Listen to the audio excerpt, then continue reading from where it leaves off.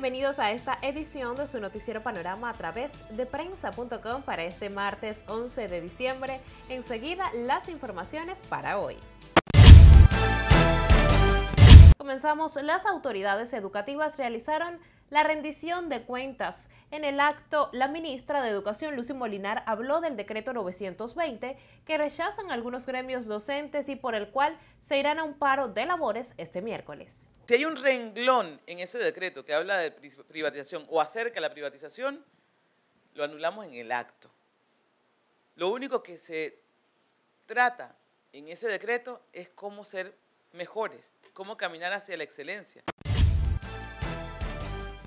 Cambiamos de tema. El ex legislador colonense y fundador del opositor Partido Revolucionario Democrático Miguel Bush abandonó ese colectivo para inscribirse a las filas del oficialista Cambio Democrático. Me voy a donde te dan cariño fue la frase que usó Bush para referirse a su decisión. Además, aseguró que saltó a cambio democrático porque desde hace años ha estado en conversaciones con miembros de ese partido.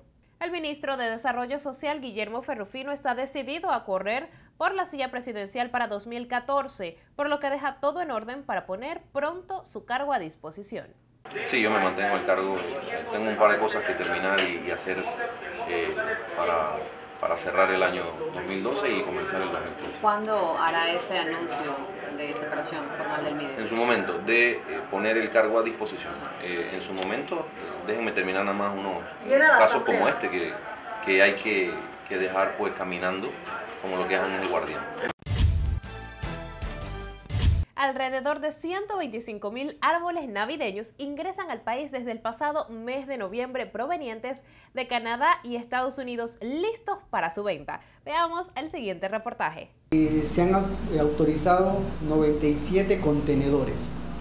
De esos 97 contenedores supuestamente están trayendo 90.449 arbolitos.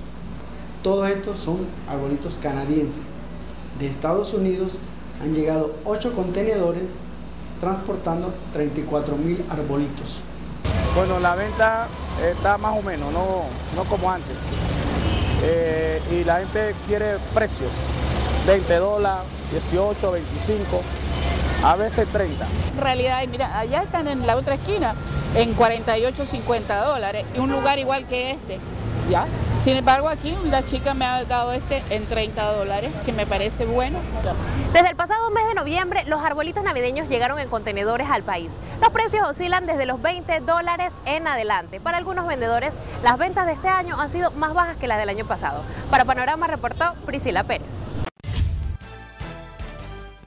Ya sabe, aún está tiempo de comprar su arbolito navideño. Ahora pasamos al resumen de las noticias más importantes que publica la prensa en su edición del 12 de diciembre. En Panorama llevamos detalles de la rendición de cuentas del Ministerio de Educación. En Mundo continuamos con el estado de salud del presidente venezolano Hugo Chávez. Y en Deportes busca información sobre las próximas elecciones del Comité Olímpico de Panamá.